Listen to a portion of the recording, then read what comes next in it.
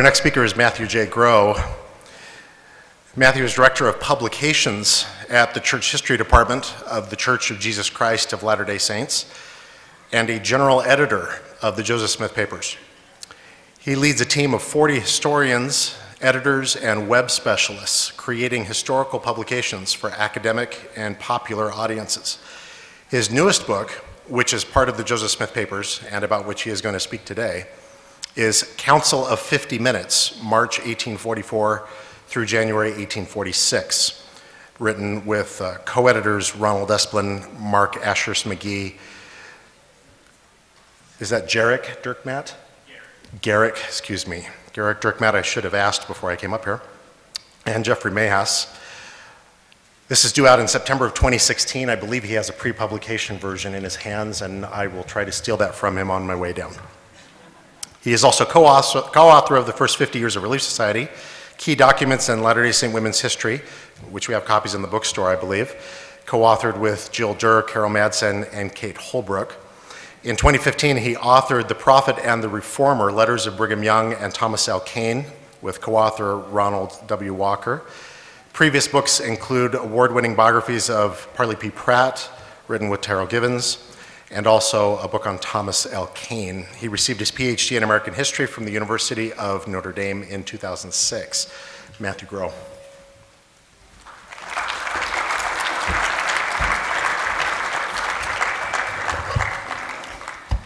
Thanks, Mike. I'm flattered that you would choose me over a five minute break. It's my privilege today to provide a sneak peek uh, into a book that will be released to the public in about five weeks. We actually received the first of the books off the printing press just a few days ago. It's the latest volume in the Joseph Smith papers, The Minutes of the Council of 50 in Nauvoo, Illinois.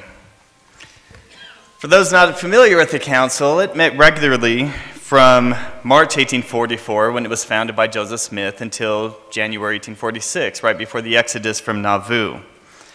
The publication of these minutes is another step in the Joseph Smith Papers' ongoing efforts to publish all of his papers. Because the minutes have never been open to research, the Council of 50 has been the subject of tremendous speculation over the years.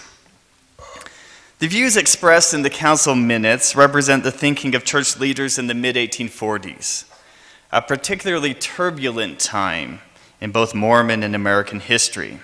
They don't represent necessarily what the church teaches today about topics such as theocracy. Today, of course, the church makes every effort to be politically neutral, even during the past presidential election featuring a church member. The contents of these minutes remind us of another era in which the church was decidedly not politically neutral. First, let's give a little history of the minutes themselves. William Clayton, an English convert who began clerical work for Joseph Smith in 1842, was appointed clerk of the council during its first meeting. He kept meeting minutes on loose sheets of paper and later copied these minutes into three small bound volumes.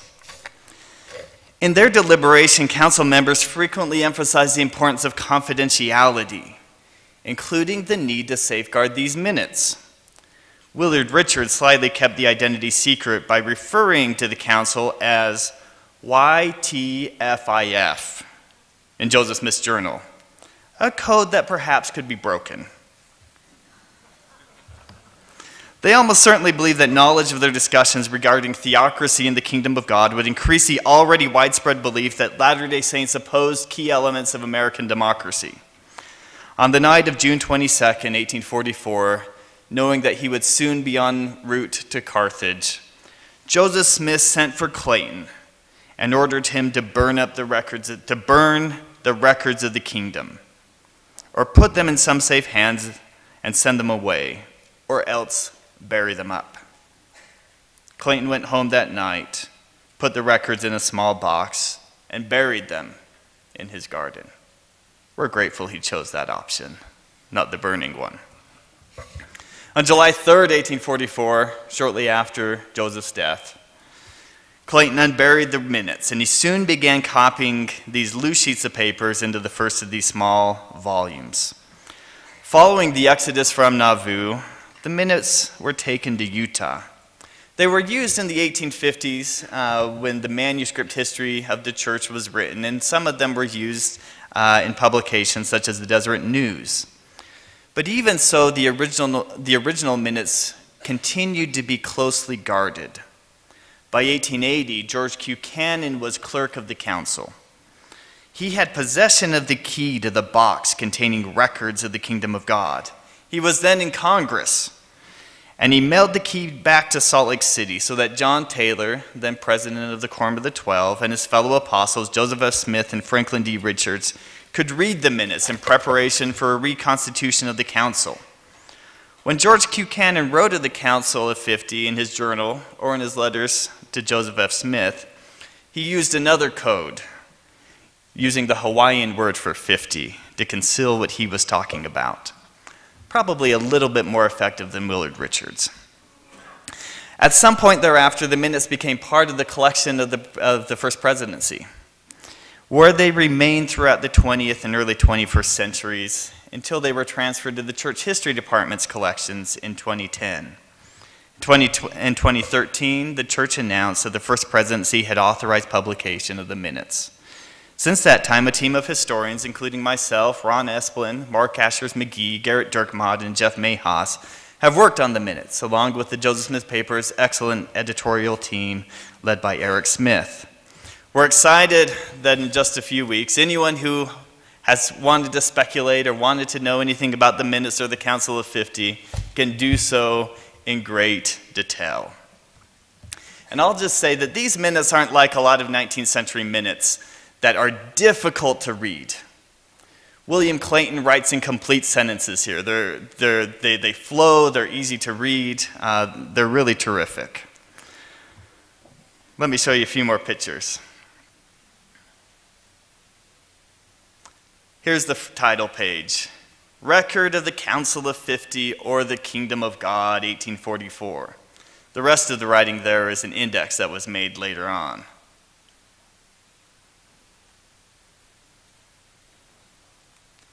Here's the first page. The council was organized on the strength of the contents of two letters from the brethren in the Pine Country. Talk about that in a minute.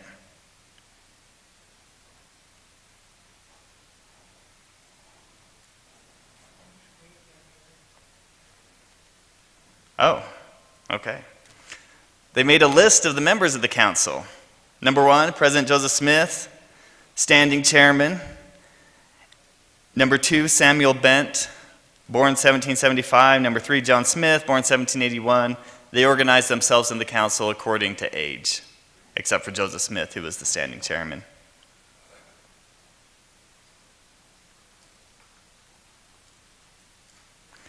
The list continues.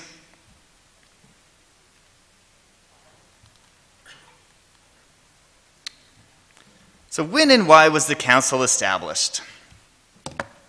In March 1844, Joseph Smith received two letters from the brethren in the pine country, men who had been sent to the Wisconsin pineries to gather lumber for the Nauvoo temple and the Nauvoo house.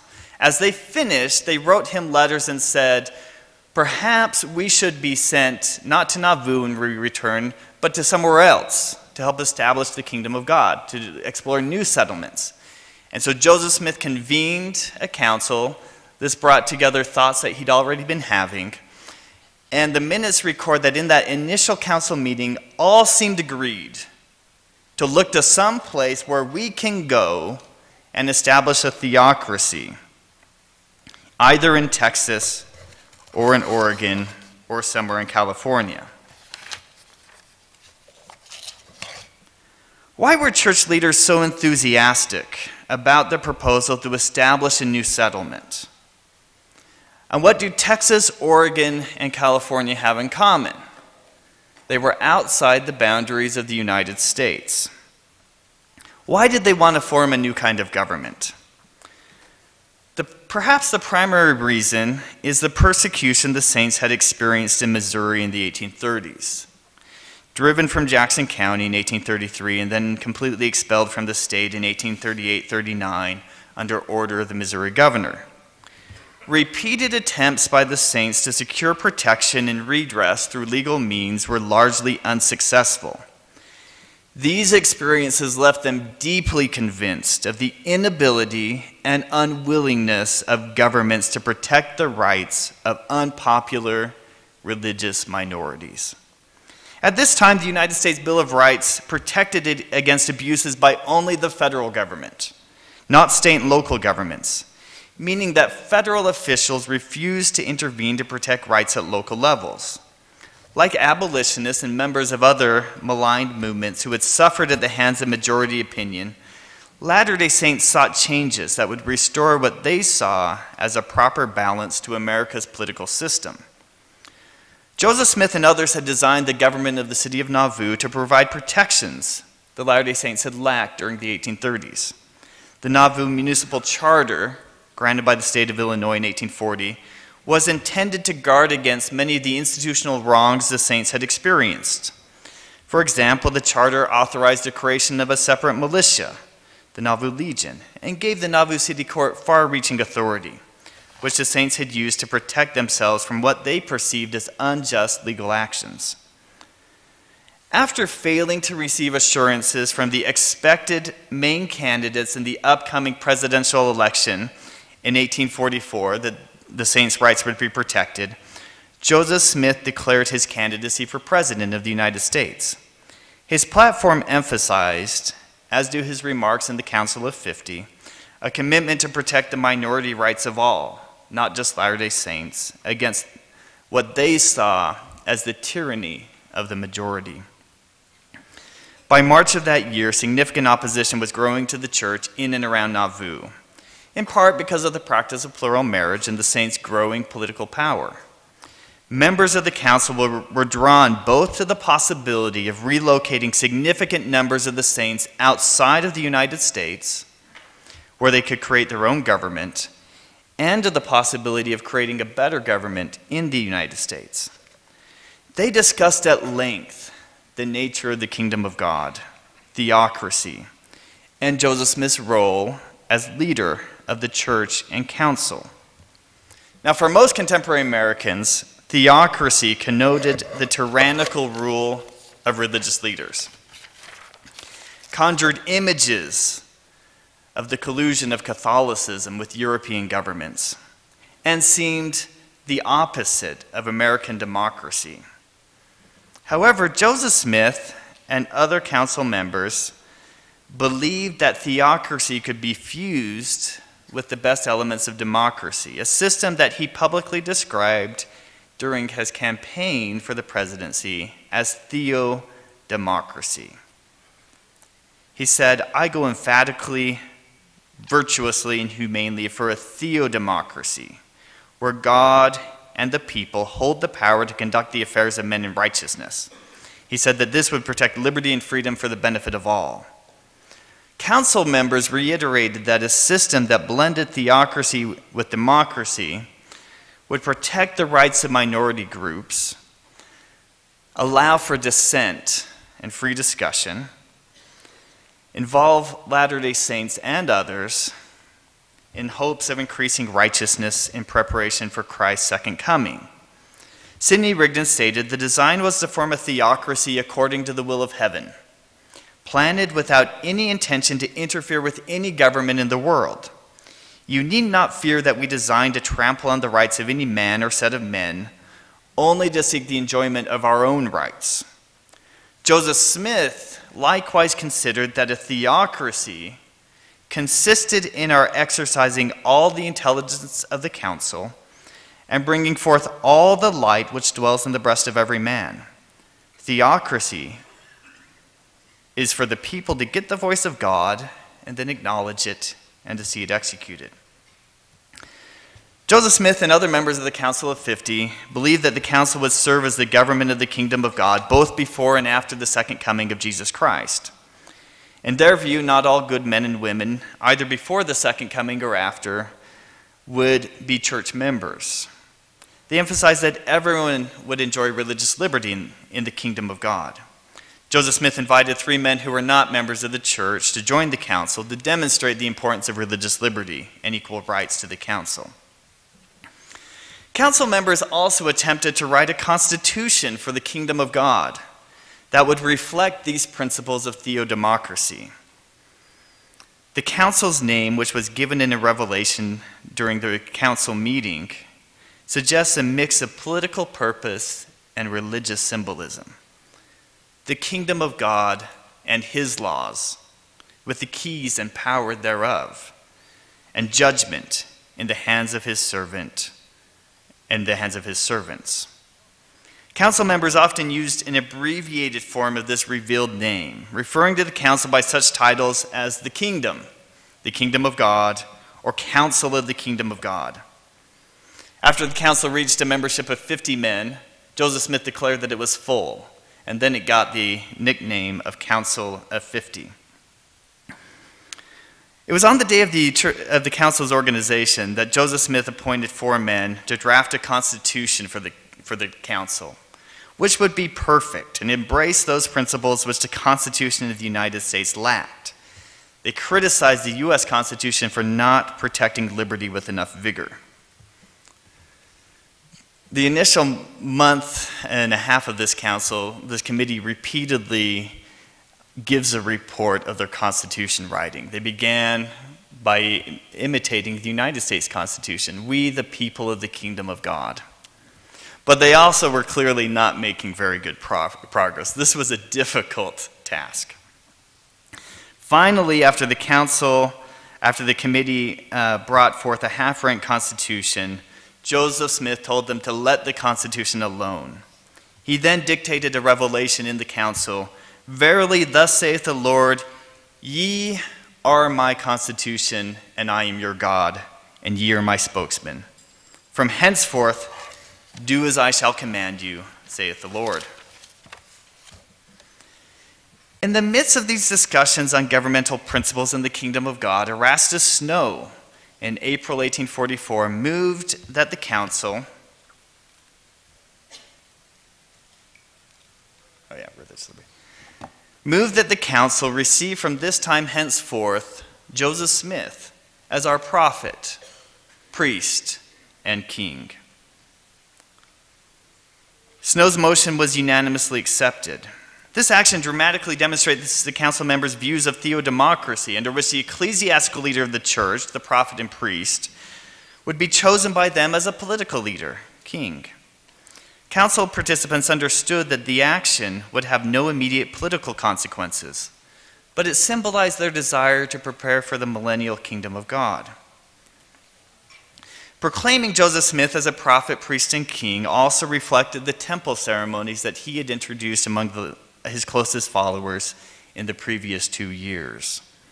In the view of Latter day Saints, these ceremonies would allow men to one day become, in the words of John the Revelator, unto our God, kings and priests.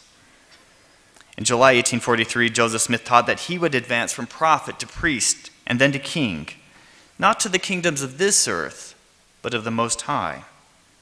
On April 8, 1844, a few days before the council received him as prophet, priest, and king, Joseph Smith urged the saints to finish building the Nauvoo temple so that they could there receive their endowment to make them kings and priests unto the Most High God. He explained that this had nothing to do with temporal things, but was instead related to the kingdom of God. The beliefs that Joseph Smith had crowned himself king of an earthly theocracy spread among both dissidents within the church and opponents and observers outside the church. The accusations are in the Nauvoo Expositor, the newspaper published a few, months before, a few weeks before his uh, death, that accused him of attempting to establish a theocracy. So common were rumors in the summer of 1844 that Illinois Governor Thomas Ford placed the belief that Smith had caused himself to be crowned and anointed king of the Mormons first in a list of causes of excitement that led to Joseph's death.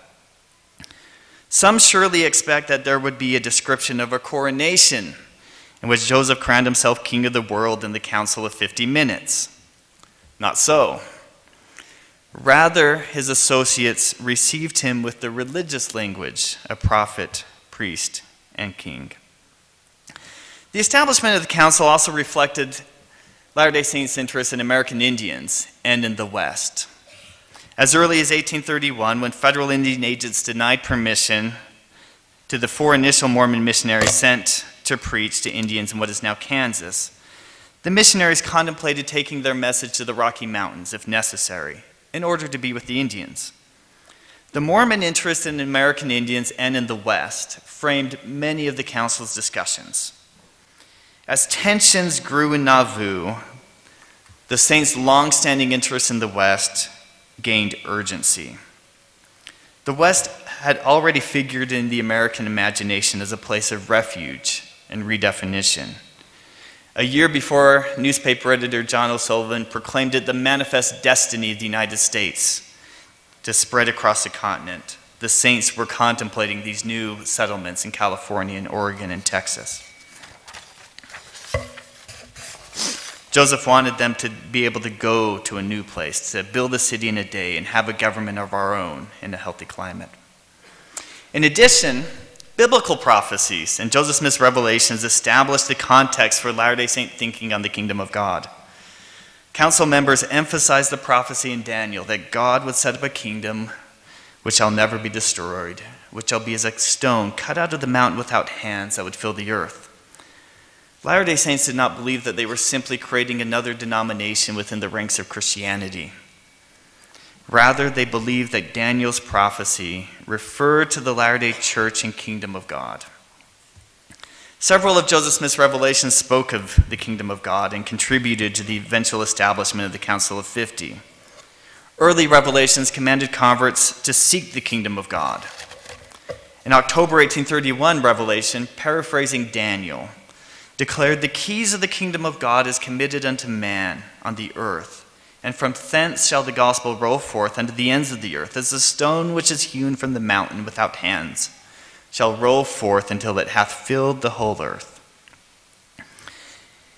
Initially, Latter day Saints likely understood these statements about the kingdom of God as describing the work of the church.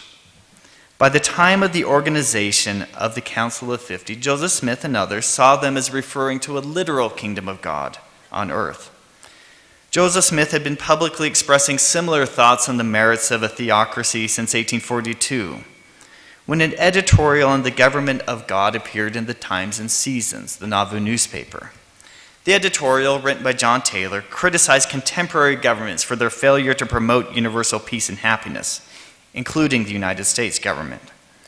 Speaking about the government of God as reflected in ancient Israel and in the future millennium, the editorial said their government was a theocracy. They had God to make their laws and men chosen by Him to administer them. So will it be when the purposes of God shall be accomplished, when the Lord shall be king over the whole earth and Jerusalem his throne. Members of the council believed that it would play a role in the fulfillment of these biblical and latter day prophecies. Hyrum Smith told the council that the time was at hand when the prophecy should be fulfilled. When the nations were ready to embrace the gospel, and when the ensign should be lifted up and the standard and be the standard to the people. So, how did the church and the council relate to each other in their minds? Though general and local church members were key members of the council, the council was not seen as an ecclesiastical body.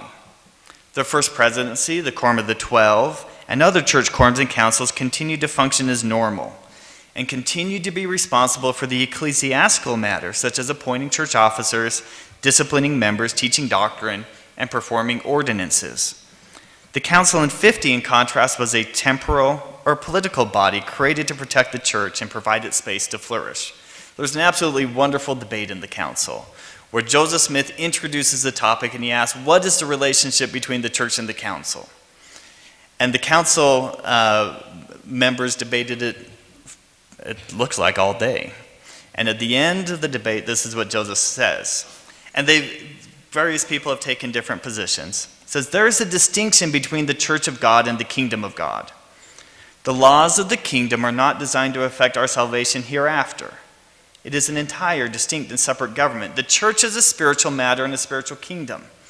But the kingdom which Daniel saw was not a spiritual kingdom, but was designed to be God up for the safety and salvation of the saints by protecting them in their religious rights and worship. So, what did the council do?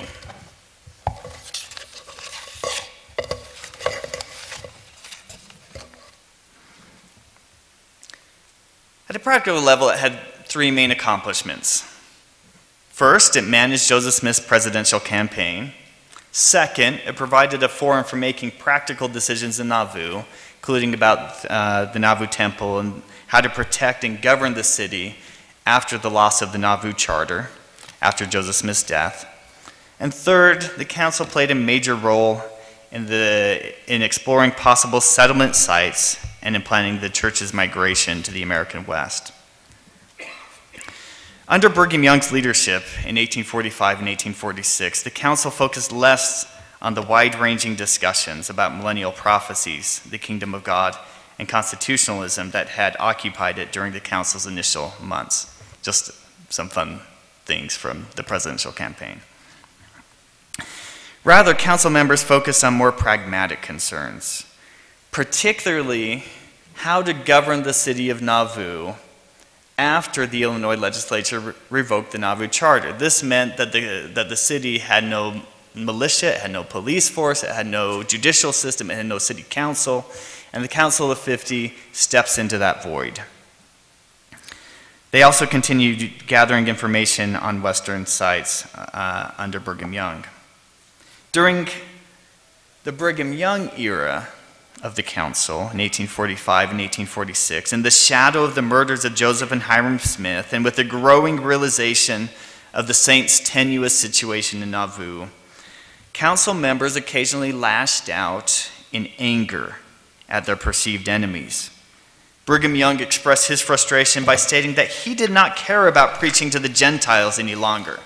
Indeed, he stated, paraphrasing, paraphrasing Lyman Wight, let the scoundrels be killed.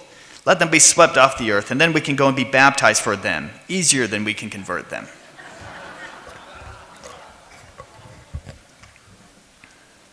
The previous treatment of the Latter day Saints in Missouri and Illinois and the murders of the Smiths heavily influenced his rhetoric. The Gentiles have rejected the gospel. They have killed the prophets. And those who have not taken an active part in the murder all rejoice in it and say amen to it. Rather than preach to the gospel, he continued, the saints would look to the house of Israel, by which he meant the American Indians. He thought the American governments had been too powerless or too corrupt to protect the Latter day Saints' rights, and he vowed that he would not allow himself to be killed and taken as Joseph had been. Both the Latter day Saints and their opponents accepted widespread American attitudes toward community violence and vigilantism that justified using extra legal means to provide for community defense when other mechanisms failed, or to enforce order on individuals or communities perceived as unstable.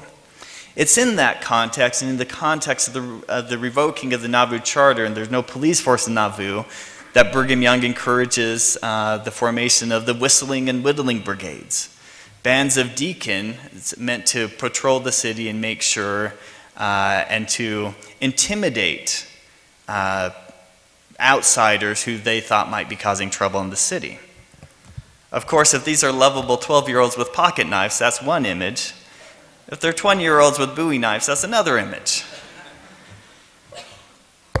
The Mormons themselves continued to be targets of extra, legal vigilantism after the mob murders of the Smiths, and the saints uh, themselves expelled some dissenters from Nauvoo uh, as well. Notwithstanding the often heated statements within the Council of 50, Mormon extralegal violence was typically limited to the defense of Nauvoo from outsiders and uh, the expulsion of dissidents from the city. When faced with the possibility of armed conflict between the saints and other Illinois residents, Young and other church leaders spoke of suffering wrong rather than doing wrong, and eventually opted for a mass exodus rather than battle. So, what about the Council of 50 Minutes today? They're, of course, of interest to historians. They provide us terrific detail on what's often a lost period of Latter day Saint history between the martyrdom and the Trek West. But I think there's also some things in here that will be of more wide interest. The Council of 50 Minutes provide a way of studying how church members can make decisions according to inspiration in the council process. While the council chairman, Joseph Smith of Brigham Young, directed some council discussions, the members had equal opportunity to speak. Council decisions were to be unanimous. Council members believed that they had an obligation to offer candid commentary on issues before the council, and that their collective deliberations would lead them to correct and inspired decisions. From the beginning of the council, Joseph Smith urged participants to speak their minds, to say what was in their hearts, whether good or bad. He said he did not want to be surrounded forever by a set of doughheads, by which he meant, I think, yes men. And if they did not rise up and shake themselves and exercise themselves in discussing these important matters, he should consider them nothing better than doughheads. This deliberative process was followed as the council explored possible new settlement sites for the saints. Here's what the map looks like in uh, February 1844 as the council has its beginnings. Sometimes Latter day Saints assumed that the saints knew they were headed to the Rocky Mountains uh, earlier than, than they were. So, first of all, the Wisconsin Saints say, maybe we should go down to Texas. Joseph Smith and others begin planning expeditions to Oregon and California. Then the council is organized. Let's see what happens under Joseph Smith. So, you remember, Oregon is disputed between U.S. and Britain. Upper California is Mexican territory, and the Republic of Texas is independent. So, one of the first things the council does is send a delegate to Texas. He meets with Sam Houston and explores Mormon colonization of Texas.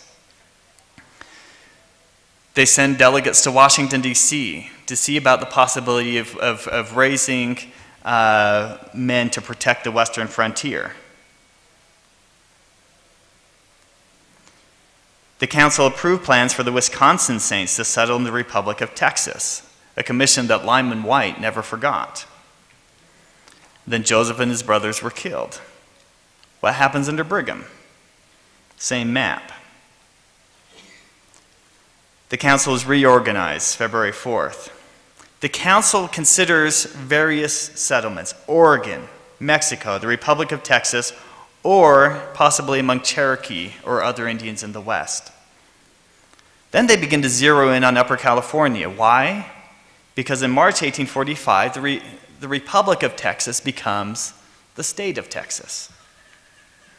When it becomes so, they still are looking outside the boundaries of the United States.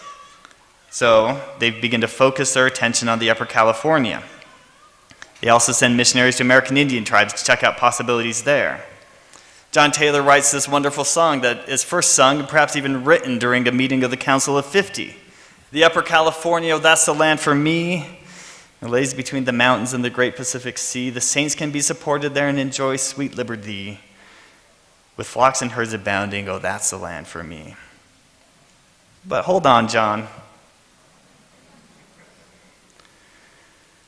They begin, they continue studying the maps, meeting with fur traders and others, uh, and they begin to receive reports about the Rocky Mountains and specifically about the Great Salt Lake.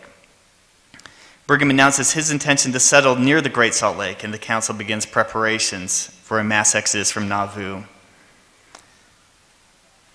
And interestingly, it's only at the end of that deliberative process, after they've explored every possibility, after they've looked at every map, after they've talked with everyone they can who knows about the West, after they've sent delegates here and there and everywhere, it's only then that Brigham Young receives a revelation of confirmation. And he says in the Council of 50 the saying of the prophets would never be verified unless the house of the Lord should be reared in the tops of the mountains, and the proud banner of liberty wave over the valleys that are within the mountains. And I know where the spot is, and I know how to make the flag. One other reason that I think the council minutes will be of interest, and then they go west, we know that part, is that there's just some terrific statements from Joseph Smith, Brigham Young, and, and others in the Council of 50 that we've never had before. Let me just read two of these to you. This is Brigham. He supposed there has not yet been a perfect revelation given, because we cannot understand it, yet we receive a little here and a little there. He should not be stumbled if the prophet should translate the Bible 40,000 times over. And yet it should be different in some places every time. Because when God speaks, he always speaks according to the capacity of the people. The starting point for the government of the kingdom is in the book of Doctrine and Covenants. But he does not know how much more there is in the bosom of the Almighty. When God sees that his people have enlarged upon what he has given us, he will give us more. This is a long one and probably unreadable for you, but let me read it. I'll read portions of it. He says, This is Joseph Smith on religious liberty. He argues that the agency that God gave his children requires mortals, two, to grant and safeguard the freedom of religion. He declares, God cannot save or damn a man only on the principle that every man acts, chooses, and worships for himself. Hence, the importance of thrusting from us every spirit of bigotry and intolerance towards a man's religious sentiments, that spirit which has drenched the earth in blood. When a man feel the least temptation to such intolerance, he ought to spurn it from him. It becomes our duty, on account of this intolerance and corruption, the inalienable right of man being to think as he pleases, worship as he pleases, this being the first law of everything that is sacred to guard every ground all the days of our lives. I will appeal to every man in this council, beginning at the youngest, that when he arrives to the years of old age, he will have to say that the principles of intolerance and bigotry never had a place in this kingdom, nor in my breast, and that he is even then ready to die rather than yield to such things. Nothing can reclaim the human mind from its ignorance, bigotry, superstition, etc but those grand and sublime principles of equal rights and universal freedom to all men. When I have used every means in my power to exalt a man's mind and have taught him righteous principles to no effect, he is still inclined in his darkness. Yet the same principles of liberty and charity would ever be manifested by me as though he embraced it. Hence, in all governments or political transactions, a man's religious opinion should never be called in question a man should be judged by the law, independent of religious prejudice. I'll let Joseph have the last word.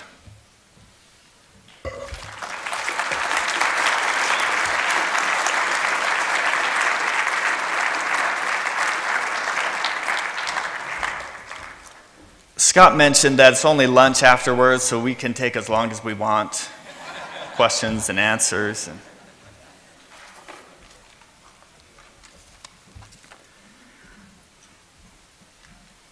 Did Joseph Smith not understand the Council of Twelve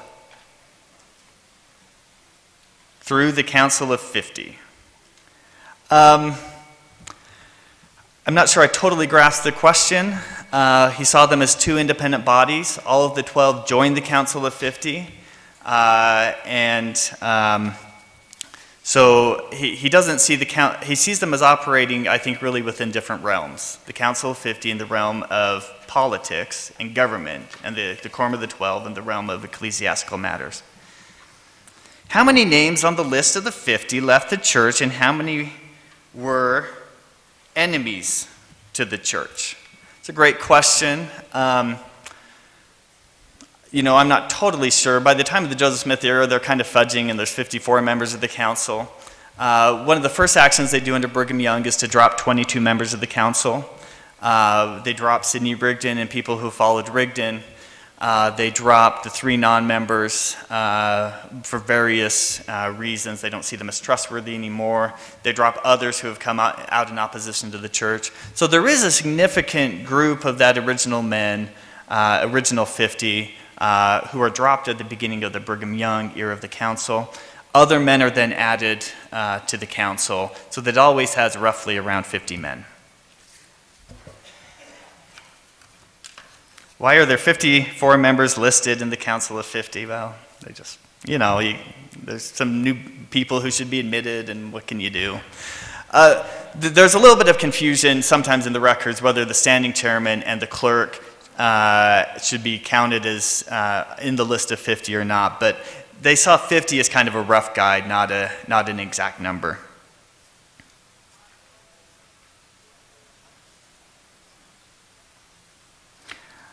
Yeah, so, so there's a question here were there other, besides LDS, in the original 50? There are these three non Mormons.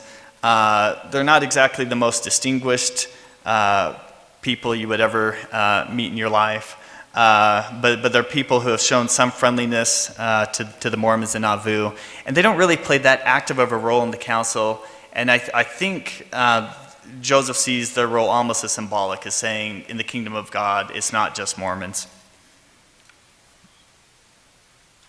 So were the Whistlers and Whittlers 12 year olds with pocket knives or 20 year olds with bowie knives? Well, th- this was an era in which deacons were generally men in their 20s and 30s. These are not 12 year olds, uh, notwithstanding what you may have read in The Friend over time. Uh, it's, it's, uh, these are grown men. Are the minutes images available online? Uh, they will be. Uh, so uh, probably within about a year of the publication of the book. So next fall, we'll put the minutes uh, images online.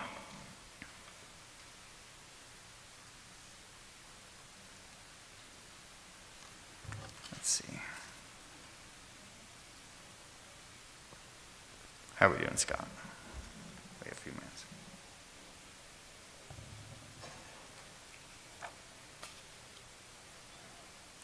Do the minutes add insights to the challenges of the women of Nauvoo? I wonder about Emma Smith and her role or lack thereof after the killing uh, of Joseph Smith. You know, there, there just really isn't much in the minutes that would uh, add to our knowledge uh, of Emma Smith. Certainly, you, you, see some of the fallout that happens uh, afterwards uh, in, in uh, the minutes. Um, but the, uh, Emma Smith is mentioned one time in the minutes, and she's actually the only woman mentioned uh, in the minutes. So the, those looking for insights into that question, um, we, we always have trouble including uh, a lot of women in the Joseph Smith papers because of the nature of the documents, and this volume is particularly bad that way. Does the council meet again after January 1846? Yes. Uh, so the council meets at winter quarters on a handful of occasions. They then meet uh, in Salt Lake uh, between about 1848 and 1851, 1848, 1849. The council, in a lot of ways, is acting as the governmental body uh, in Salt Lake. This is before the organization of the territory. There's a very kind of small revival of the council in 1867. They just kind of convene and add a few members. Uh, then in, the 18, in 1880, John Taylor, who of course is a very active member of the council uh, with Joseph Smith, reconvenes the council, and it operates from about 1880 uh, to 1885. Uh, the council uh, then doesn't meet again in its history. Uh, how have the Joseph Smith Papers made a positive influence to our understanding of uh, church history. Uh, you know, I, I, I, think there's lots of ways. I think, I think we understand that the Joseph Smith papers are not going to be read uh, by the vast uh, majority of church members. They're kind of big. Uh, there's a lot of them. Uh, it was made very clear to the Joseph Smith paper staff early on that the, the division of the papers was to be written to scholars, that the audience was academics, so that books so that it would, they, they would have credibility uh, to academics around the world. And we think we've achieved that. Uh, but we're also interested in having the book's influence understanding of church history to, to average members. And so we do try to work uh, uh, uh in various ways to uh, have that happen. With other people in the church history department, we've written a series of articles called Revelations in Context that give the story, the backstory of each section of the Doctrine and Covenants using insights from the Joseph Smith Papers. Uh, insights from the Joseph Smith Papers were also integrated into the section headings of the Doctrine and Covenants in 2013, and we've tried to work with our, our friends in, in, in the curriculum department and, and, and seminaries and institutes uh, so that they have the best historical information uh, to work with as well. 50% of the kingdom of God or of any kingdom are women. Is there any indication that the Council of 50 had any intention of having women serve in the government of the proposed theodemocracy? Uh, you know, I think it's just a question that, that they didn't consider. I think we're just, they're just in a different era, and that, that question, as far as I know, doesn't come up, uh, certainly doesn't come up in the minutes, and there's no indication that it comes up uh, in their thoughts for what the Council of 50 is at that moment.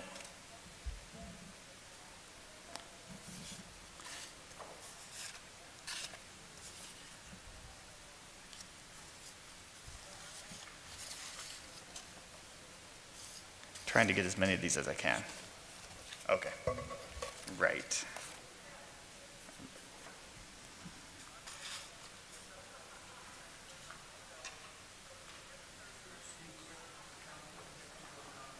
Is there a what? I, I didn't hear you. No, I, I heard him. I heard him. I certainly wouldn't know if there was a secret member of the council. no, I mean, that, th- there's no indication that the council operated after 1885. Uh, so, um, one question, can you tell us a little bit about the three non-members who were on the Council of 50? How they feel about being part of it? You know, there's no actual records left from these three men that would comment on their uh, participation with the council. What is the most interesting thing you discovered uh, while writing the Council of 50 Minutes? I'll just say that for me as a historian, working with the Council of 50 Minutes was terrific. Uh, there's very few opportunities to be able to look at a record and work on a record that hasn't been looked at before and hasn't been worked on uh, before. And I think for me, um, so some of what I've, I've, highlighted here is what I, what I really enjoyed. I, these discussions that they have in the council in April 1844, uh, the way they organize the council is they all sit in a semicircle. No, so, sorry, they sit in a circle, Joseph at the head, the oldest member of the council to his immediate right, and so on around the circle. And the idea is that every man will have the chance to speak in the council. So, for instance, when Joseph raises the question, is there a distinction between the church of God and the kingdom of God? He turns to his right and uh, Samuel Bent, the oldest man of the council, is supposed to speak first. So imagine ward council with 50 people in the room, and everyone's supposed to go around the circle and say something, right? These meetings are all day meetings, and William Clayton just kept terrific minutes. So you just have such a window onto what they were thinking, what they thought about the U.S. Constitution, what they thought about uh, a, a, divine constitution, what just all these kind of theoretical the, debates they're having were really interesting. It was fascinating to me that Joseph lets them all speak, kind of getting wisdom from the group, and then at the end he explains, "This is how I see it." Uh, and, and, and, and, and, so that was um, really uh, interesting to me. I will mention, um, I brought a number of these pamphlets. There's about 50 sitting. Uh, they were at the auction table, but they've probably been moved. But they're back there. We'll find them. Uh, th- this highlights what we've done with the Church Historians Press this year.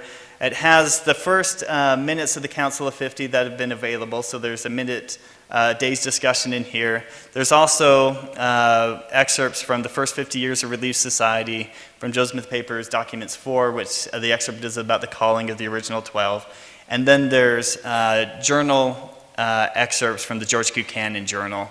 Uh, that's such a foundational source in Latter-day Saint history that, again, it's never been available, but that's being uh, published online. So I think, uh, I think we should let people eat. Sounds good. Okay. Thank you, man.